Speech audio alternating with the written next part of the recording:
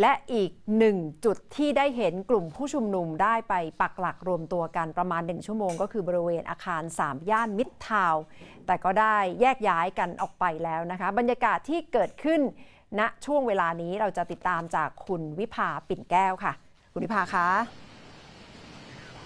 จุดที่ดิฉันยังอยู่นะคะก็คือเป็นบริเวณของด้านหน้าห้างสรรพสินค้า 3 ย่านมิตรทาวค่ะ ซึ่งใกล้กับแยก 3 ย่านค่ะ โดยณขณะนี้เท่าที่สังเกตนะคะ ก็พบว่ากลุ่มผู้ชุมนุมนั้นทยอยเดินทางกลับกันไปเกือบหมดแล้วค่ะณขณะนี้ก็เหลือเพียงแต่เจ้าหน้าที่รักษาความปลอดภัยนะคะ ที่มาดูแลด้านหน้าของห้างสรรพสินค้าค่ะ แล้วก็มีรั้วเหล็กกั้นนะคะ สำหรับบริเวณนี้นะคะย้อนกลับไปเมื่อประมาณ 1 ชั่วโมงที่ผ่านมาค่ะ จุดนี้ค่ะเป็นอีกหนึ่งจุดค่ะที่มีการระดมระดมพลของกลุ่มผู้ชุมนุม ระดมน้ำดื่มขวดนะคะ เพื่อที่จะนำไปมอบให้กับกลุ่มผู้ชุมนุมที่อยู่ใกล้กับบริเวณแยกปทุมวันค่ะ ในช่วงที่มีการปะทะกันใช้สำหรับล้างหน้านะคะ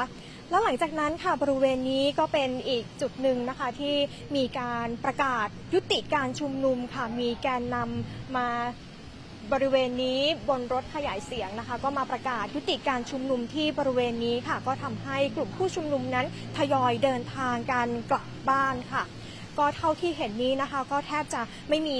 กลุ่มผู้ชุมนุมหลงเหลืออยู่ที่นี่แล้วนะคะสำหรับการจราจรณบริเวณนี้นะคะ ก็คือการจราจรเปิดใช้แล้วนะคะสองช่องทาง ซึ่งการจราจรก็ค่อนข้างที่จะโล่งคล่องตัวนะคะ และนี่ก็เป็นบรรยากาศสดๆจากที่บริเวณด้านหน้าห้างสรรพสินค้า 3 ย่านมิตรทาวน์ค่ะ